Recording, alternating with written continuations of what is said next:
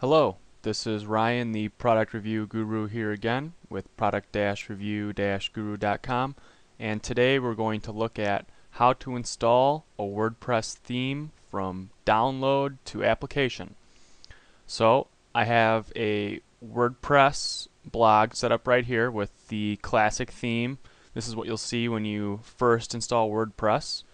So this is right after my WordPress installation the first thing we're going to want to do is apply what's called a theme. Now what a theme does is pretty much changes the layout and sometimes the functionality but the nice thing about themes is these posts like this post hello world here all of your content you put on your blog will mostly stay the same but the appearance will change so it's very very easy to change the look of your blog without retyping in posts and all of other things like that so the first thing we're going to want to do is download a theme. So I pulled up a website that just had some free WordPress themes and the one I like we're going to do today, I'm just going to pick a nice and simple one. It's the first one right here. It's called Wooden. And then when you click the, the download, you're going to see the download application box appear and because we're going to be uploading this right away, which I'll show you, I'm just going to open this file. I'm not going to save it. You can also choose to save it somewhere, but because we're uploading it right away, I'm just going to keep it just like this. So, first thing we need to do is the file we downloaded was in what's called a zip archive. Now if you don't know what that means, that's okay. It's pretty much a briefcase that holds files. So we need to get the files out of the briefcase. And to do that, a really simple thing to do is just click, left click and hold, and drag it onto your desktop. So as you can see, it appeared here, and we're going to go ahead and X this out, so we don't need this zip archive anymore. Okay, so here we have it right here. Now the next thing we're going to want to do is FTP into our web host.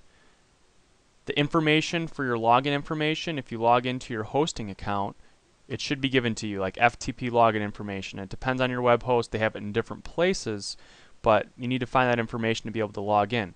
Once you have that information, you need to open up what's called an FTP program. The FTP program that I use, it's free, is called FileZilla. You could go to download.com and download FileZilla. I'll show you how to do that real quick. So we're going to want to go to download.com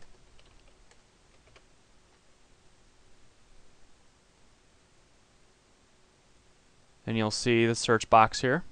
And we're going to go ahead and type in FileZilla.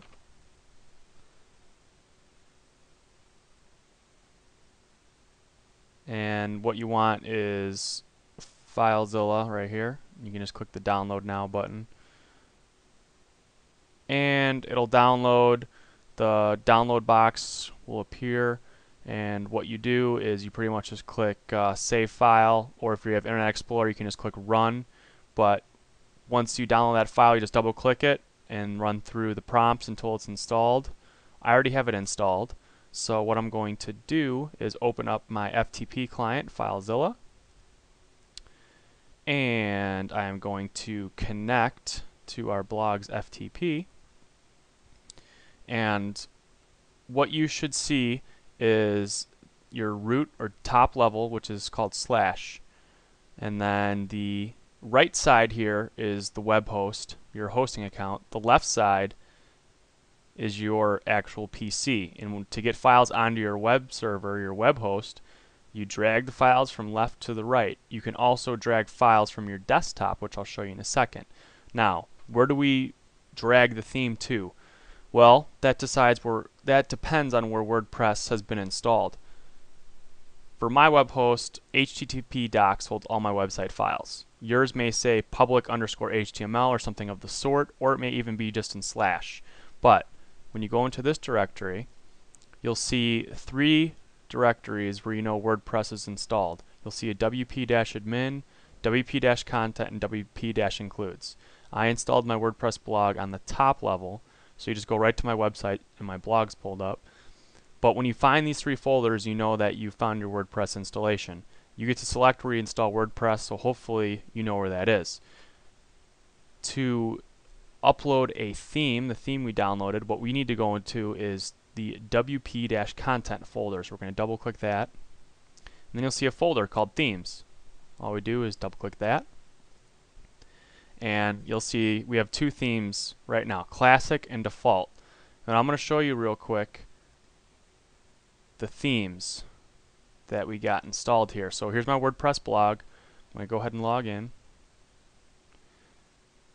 To get to the screen, you just go to your wherever your WordPress is installed slash WP admin, as you can see.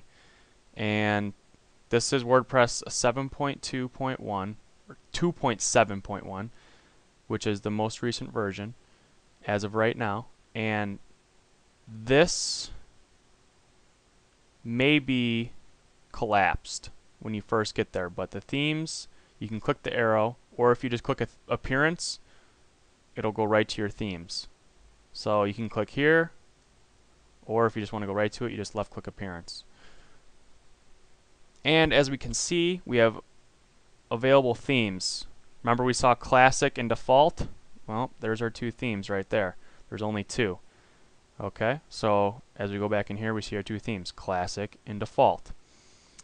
Now, I'm going to resize this window so I can show you. We can drag right from our desktop into this client, which is very nice. So remember, we want to, drag it to the right side, which is our web host, into this themes folder. That's where we're dragging it into. So I left click the wooden directory, the wooden theme, drag the folder all the way over to here, and then I'm clicking and holding, and once I let go, it'll start the transfer. So I let go, you'll see it down here, uploading all the files, 16 files. And then once you see directory listing successful, you know that's uh, installed, and you should see the wooden directory in here now. So now we have three themes. Okay, so what I'm going to go ahead and do is refresh this page so it reloads the themes we have. there it is. There's the wooden theme. And because we downloaded a pre-made theme, it has all the settings to make it appear in the screenshot and things like that. If we want to apply the theme, it's pretty easy. Current theme is WordPress default. We just left click the theme we want, which is wooden. It'll say, hey, this is what it's going to look like. We just click activate in the top right, left click that. And then you'll see the current theme is right there. So we'll go back to our blog. This is the classic theme, but it's updated because we applied the new theme. We just click refresh. There you have it. You have just skinned or applied a theme to your WordPress blog. This is Ryan, the product review guru. Please visit product-review-guru.com for more great tutorials and reviews. Create a great day.